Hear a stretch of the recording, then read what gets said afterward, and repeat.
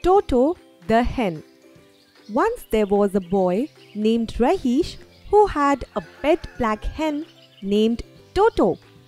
Toto was a very smart hen and she lived in a cozy cage called a coop. Rahish loved taking care of Toto by giving her food and playing with her every day. They were the best of friends. Toto had a special way of letting Rahish know when she laid an egg. She made a unique sound cock, cock, cock. Whenever Rahish heard that sound, he knew it was time to go to the coop, give Toto some food, and collect the egg. One night, Rahish was fast asleep when he suddenly woke up to Toto's cock, cock, cock sound. He jumped out of bed, a little surprised, and hurried outside to see what was happening.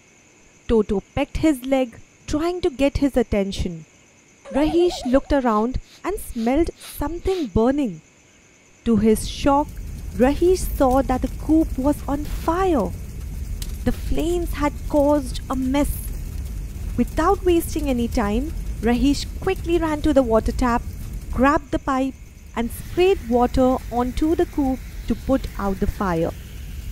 It was a difficult task, but Rahish managed to save his farm.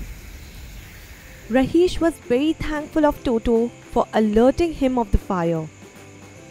He picked her up and thanked her with all his heart. Toto responded with her cock, cock, cock sound, as if understanding Rahish's gratitude. They had a strong bond, and Toto's smartness had saved the day.